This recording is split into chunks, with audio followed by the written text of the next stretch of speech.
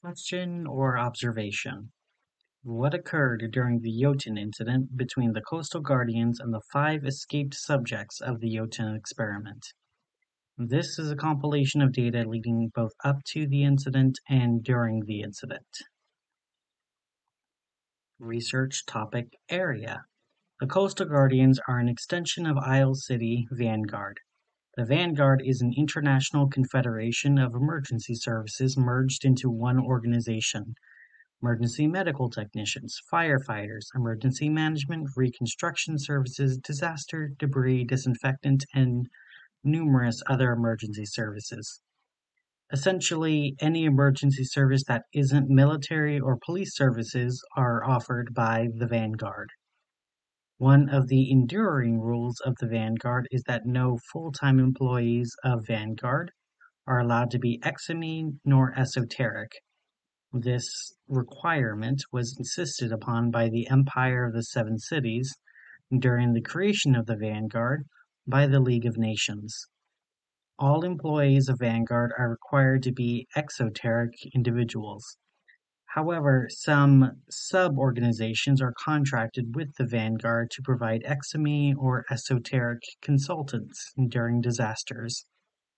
This allows the Vanguard to take advantage of these extraordinary abilities without technically employing the people who have them. The Coastal Guardians is one such organization. A total of 81 individuals who work for the Isle City Governor. 79 of the individuals are exoteric and have no known special abilities. The two with unique abilities are codenamed Hush and Birthstone. Information about these two's origins are sparse to the MSU, but this is what is known along with their known abilities. Hush was found when destroying the monstrous Master Monday. She was believed to be exoteric before her sudden uncontrolled birth and awakening of exime abilities. Now Hush stands at 24.484 meters tall and weighs 113 metric tons, approximately the same size and weight as a blue whale. Even considering her size, her strength, durability, speed, and power is in the upper tiers of exime. Her maximum limits are not known, but she has been seen outrunning the speed of sound, lifting half a skyscraper, and her skin has yet to be penetrated by any clandestine test MSU spies have attempted. Her personality has been described as confident, unrelenting, and unstoppable. Her mindset has proven to be very successful at thinking tactically. However, she appears to struggle when thinking strategically or logistically. Her actions and word choice has led MSU analysts to believe that she didn't live an educated life, and she likely was an athlete before her abilities awakened. She has no known weaknesses, but it is hypothesized that she may be vulnerable to gas-based poisons, poor balance, or manipulations. These have not been tested as of writing. She has several personal relationships with the members of the Coastal Guardians, but excluding that, she has no known friendships nor point of social contact. It is hypothesized that she is attempting to maintain a distance from others for emotional protection, but it is unknown if it is for herself or for others. Possible weakness if this can be further examined. Birthstone has an even more difficult origin to understand. She was simply said to be a friend of Hush's and joined the Coastal Guardians two weeks after the formation of the Coastal Guardians. She has an esoteric ability to change her size at will. Normally, at a centimeter tall, Birthstone is required to be at her minimum size for an extended period of time to be at the larger sizes. For example, she will need to spend 24 hours at a centimeter tall to spend a single minute at 18.3 meters tall. Her maximum height is 18.3 meters with a weight of 117.58 metric tons. greater mass than Hush despite being much shorter. Her esoteric ability has proven to be a massive drawback that is her greatest weakness. Even being a functional size like 1 meter tall still requires a significant amount of time at 1 centimeter tall, so she often spends time at minimal size, providing an advisory role unless combat is absolutely necessary. However, she has proven to be an extraordinarily strategically and logistically minded individual, so even at one centimeter tall, she has already killed three different spies sent to capture her. Her word choice and technical expertise indicate she comes from a very well educated background with many resources. Her personality has been described as quiet, withdrawn, morose, and sad. She is dependent on the other members of the Coastal Guardians for most of her needs and wants. It is believed that she may be developing an inferiority complex that may be exploitable in the future. Even with the work of these coastal guardians, there were five escaped subjects from the Jotunn experiment, simply called Jotunn for simplicity's sake. The five Jotunn were created from an experiment involving horizontal gene transfer from Birthstone's DNA that allowed for her immense growth and ability to survive the size to be transferred to five exoteric humans. At the end of the 120 day long experiment, they escaped the facility and consumed all of the scientists on site. Each Jotunn needs to consume the same amount of calories as 20,000 humans each day to maintain their size and power. So it is believed that they turn to cannibalism to consume the necessary calories they need. It has been confirmed that three of the Jotunn are pregnant, so it has become a critical need to capture the Jotunn as quickly as possible. However, no forces that report to the Mad Scientists Union are sufficient to capture the Jotunn. Due to the extreme nature of the escaped subjects, the leakage of information, and insufficient MSU resources, Diplomats within Isle City negotiated for the detainment of the Jotunn. So, Isle City Governor activated the Coastal Guardians to have them aid in the capture of the Jotunn.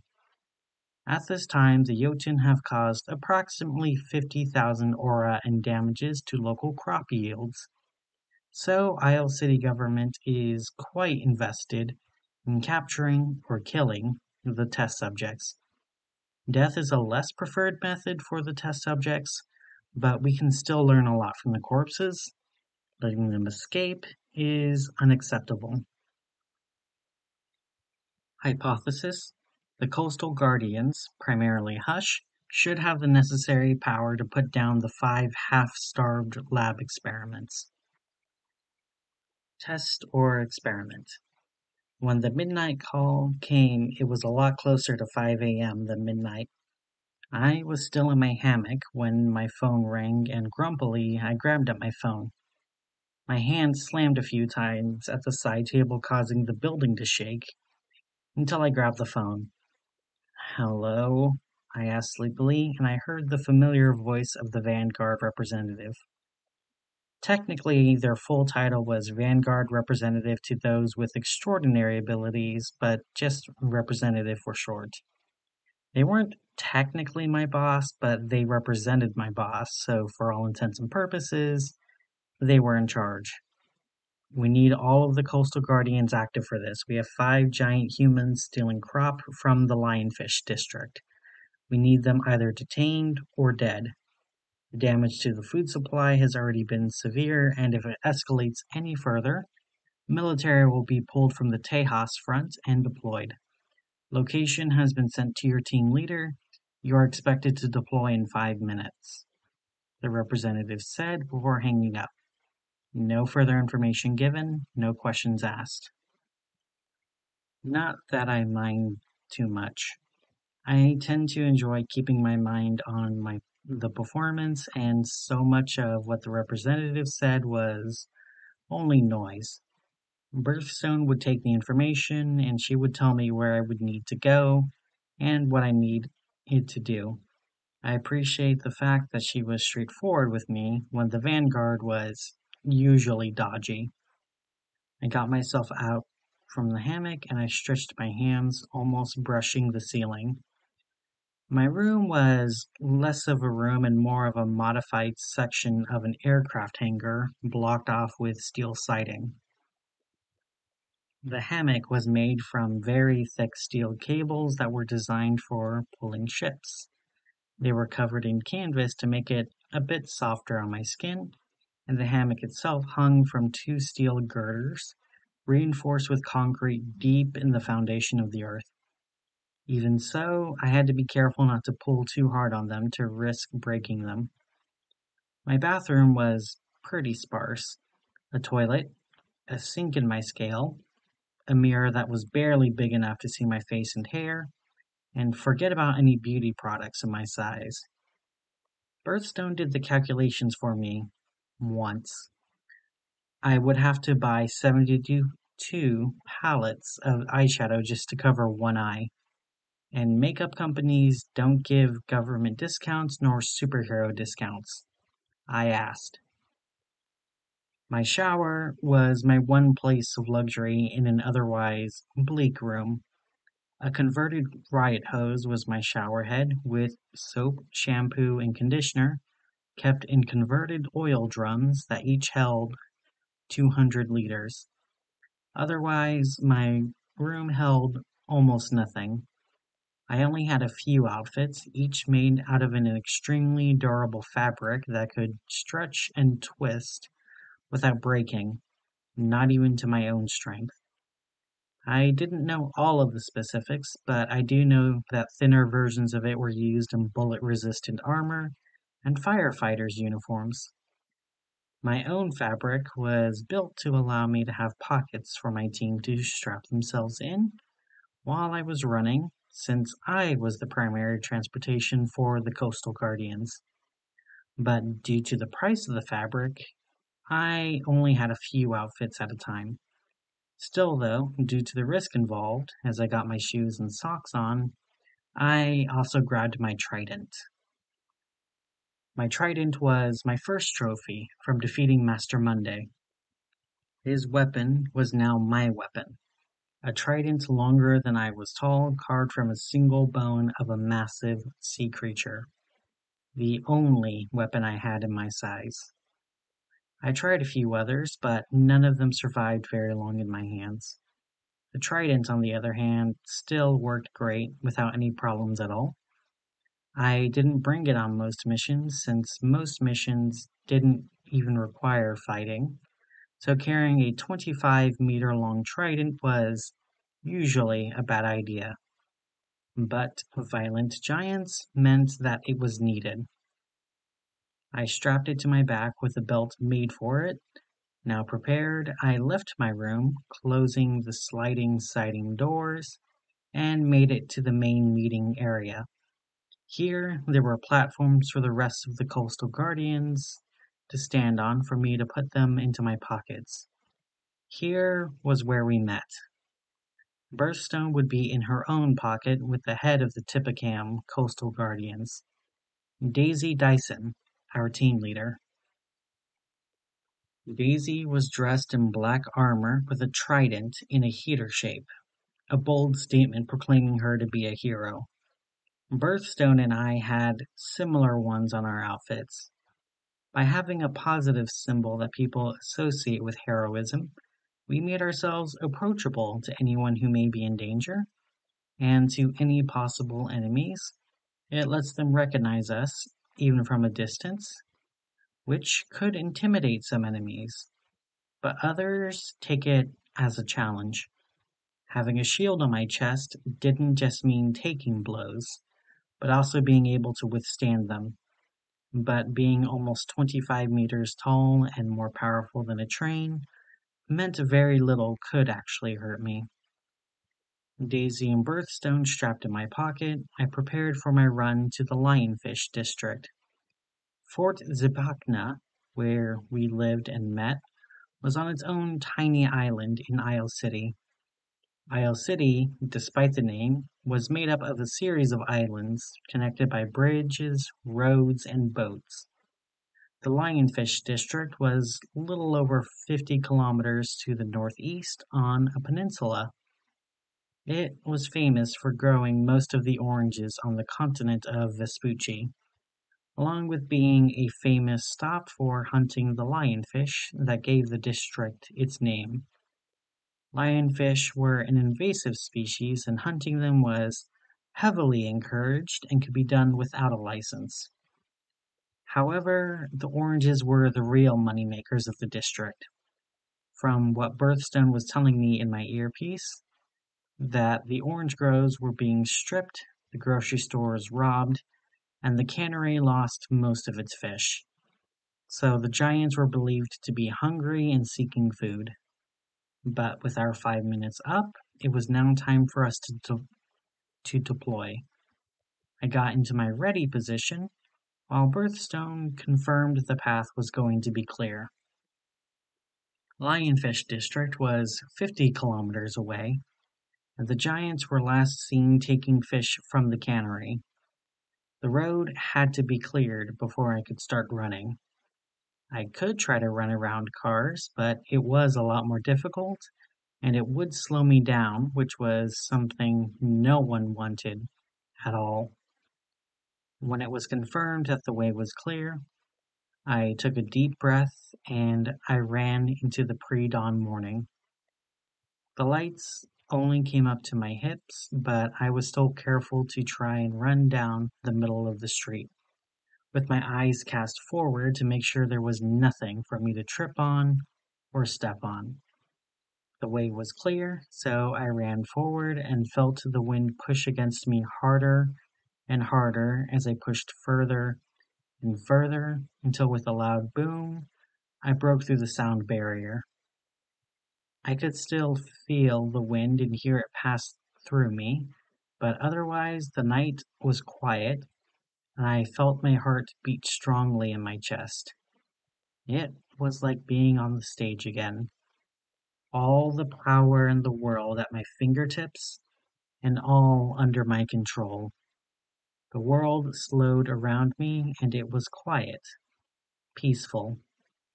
In moments like this, I felt like I was the only person in the world.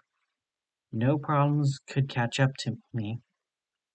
There was just the road beneath my shoes, the wind against my face, and my heart in my chest. A peace I didn't get to experience often enough. There wasn't anywhere I could just let myself run without restraint and every time I ran to get somewhere quickly, I was always there too quickly. 50 kilometers for me running like this, even though it wasn't as fast as I could sprint, it was still far too quick. At my speed, 50 kilometers passed in less than three minutes. Now near the end of my destination, I planted my feet hard on the highway and pushed against the sudden rush of air pushing me forward. Stopping suddenly meant I also had to counter my own momentum. Sure enough, in the early pre dawn light, I saw something unusual at the cannery.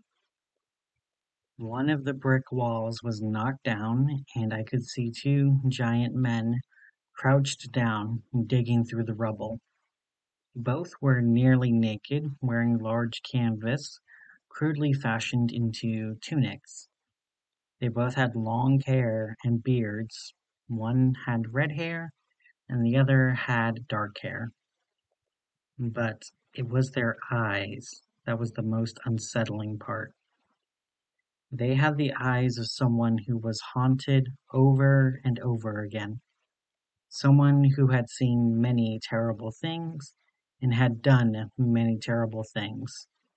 A deep hunger was in their eyes, one that said that they were starving, and no matter how much they ate, they would always be starving. Something I remember seeing in the Sunset District, in the eyes of the truly desperate who lived their entire lives on the street. It was sad and terrifying, even if and if I stood six meters taller than the both of them. Still, I had to give them a fair chance. Greetings, I said, and they kept staring at me, so I continued my script. My name is Hush. I represent the Coastal Guardians. We understand that you are hungry and we can get you food, but you cannot steal it. That perked them up a bit. Food? The red haired giant asked, and I nodded. Yes, food. We have food for you in the nearby Grove District. If you can just tell us where the other three are, we can help. I didn't even finish my sentence before they both rushed towards me. I lifted my arms to keep them from getting too close, but clearly they were out for my blood. You won't touch them, the red haired giant said, and I braced my feet. I punched directly into his gut before doing the same to the dark haired giant, having them both on the ground gasping for air. I took the chance to take Daisy out of my pocket. She would get to a distance, and Birthstone would offer tactical advice from what could be seen. Okay, fine. I won't touch them, but they still need to come with us. I told the giants, only to be tackled to the ground. This time I was actually knocked down. No, the red haired giant yelled as he started flailing at my face and chest with his fists while his friend kicked and stomped at my chest and hands. Protecting my face, I pushed up against them both and knocked them down. They clearly weren't used to their size nor fighting if they he fell over so easily. Still, though, there was a lot of power in their strikes. I lifted my hand to my lips and withdrew it, showing my own blood. I haven't been cut nor bruised in years, I wasn't used to seeing myself bleed, and the pain. I actually felt hurt. Throughout all the years since my powers awakened, pain was someone I hadn't felt in a long time. Even when Master Monday was drawing me, I didn't feel pain. But with my blood on my hand, something changed in me. I refused to be hurt anymore, and if these two insisted on trying to hurt me, I would hurt them so much harder than they could ever hurt me. I withdrew my trident from the belt on my back and I pointed it towards the two giants on the ground. One spat out blood and the other spat out a tooth. I will give you one last chance. Surrender or else. I said, balancing my trident pole on my arm, ready to stab at them both. They didn't choose to surrender. They both stood just outside the range, making feints towards me as I stood and waited for them to get close. Hush, can you hear me? Birthstone asked through my earpiece, and I responded, Confirmed. Any suggestions? Don't kill them. They're almost feral, so think tactically don't try to overwhelm them with strength, otherwise they'll both try to attack you at the same time. See if you can draw them to the beach. Maybe you can get water or sand in their eyes. We still have to find the other three. She told me, and I nodded. The beach was behind both of the giants, and I wasn't sure how to push them forward. Unless. I took a step forward, and they both took a step back. They wanted to keep their distance.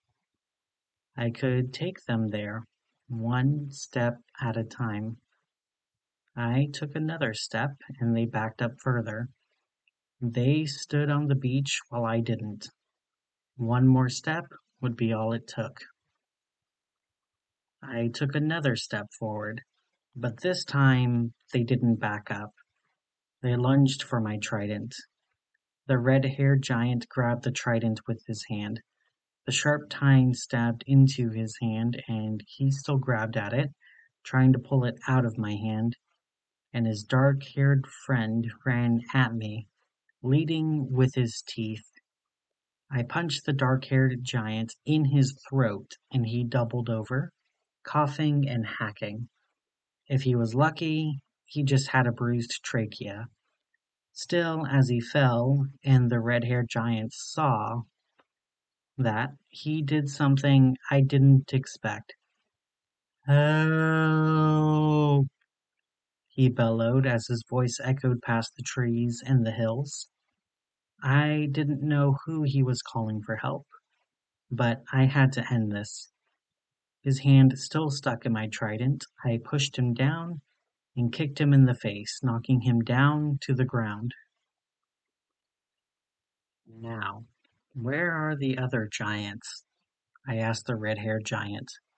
He looked up at me with desperation in his eyes. He wasn't being defiant. He was too far gone for defiance. He still stared at me with hunger. Even as I lifted the trident to his eyes, he stared pat at me, past the trident. Where are they? I asked him. Behind you, Birthstone called out, just in time for me to be knocked to the ground. My trident fell out of my hand as I rolled into the sand, and I turned to face my new attackers. Three women, just as large as the men, barely 18 meters tall. One had the remnants of blue dyed hair, another was blonde, and the final one had extremely short brown hair. Even if they had me by surprise, I took on kaiju and leviathans. I highly doubted that three new starving giants were going to change the odds that much. At least until I saw their swollen stomachs. I felt a shiver run up my spine, and despite myself, I felt myself freeze. This, this couldn't be happening. I knew I had to keep fighting. I knew if I didn't take them out, that they would take me out but I couldn't bring myself to strike at them. I couldn't pick up my trident. I couldn't even throw sand at them. The only thing I could do was try to cover my face and neck as the women started wailing on me. The women were all pregnant. I could hear birthstones squawking in my ear. She kept trying to offer tactical advice, telling me to protect myself, to hit back, to do anything to change the fight, so I wasn't being stomped on by angry giants, but I couldn't. I couldn't attack them, even as more blood was drawn, bruises blossomed from my ribs, and I felt like I was going to die. I still couldn't hurt them. Look out! Birthstone screamed out of desperation. I looked up only to see the giant with the blue hair pick up a large rock and bring it down. I heard the crack in my skull before I felt the pain. As I was falling, the only thing I could think while falling into the darkness was that Birthstone was going to be so mad at me.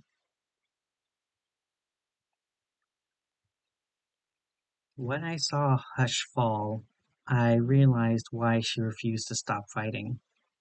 She didn't want to hurt the women, but clearly they had no such qualms about hurting her. Immediately after she was knocked out, they began to drag her away, back where they came from.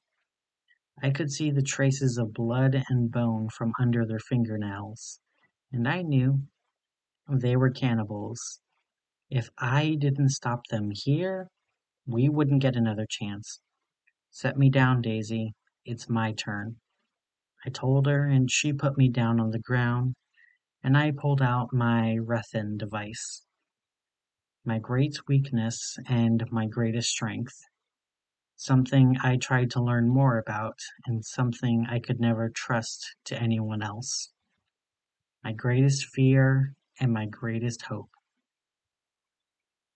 I set my size to maximum and I ran forward with all of my strength before pushing the button that allowed my size to change.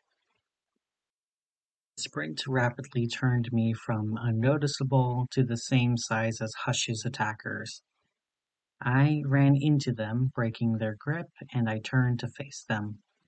Hush was bleeding on the ground behind me, and her, her blood smeared across my clothes and face as I turned to face the hungry giants.